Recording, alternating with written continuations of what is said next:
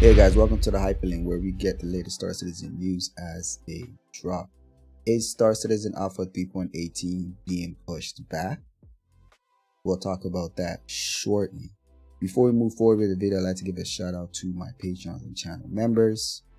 Thank you very much. Alright, so just also let you guys know, we're still doing a giveaway for an LTI Anvil Centurion if you want to participate, you can access it through this link in the top right corner, or you can find a link to this in the description as well. Make sure to go ahead and participate.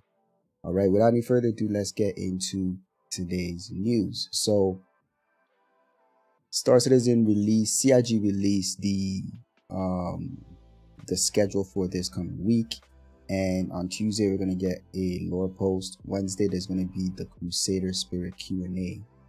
On Thursday, there's not going to be an ISC episode, but on Friday, there will be a Star Citizen Live on Vehicles, Master Mode, EUP, Dev. Um, also working on the hall scripting as well as resource management. Also, there's going to be a sub vault and newsletter update. All right, so now there's an, a significant um, note that they mentioned uh, with this uh, with this news as well. Is I'm gonna read it uh, verbatim it says in previous in a previous roadmap update we shared that the alpha 3.18 is targeting a november half first in november first half release just ahead of this year's iae event after more consideration especially when evaluating the data from our recent evocati test we have decided to spend just a few more weeks targeting an early december for a live release instead this change will not impact the IAE, which will own which will now release in the 3.17.4 patch.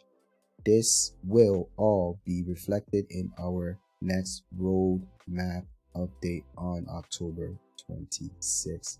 So that's the major news. I I, I kind of anticipated that this will happen.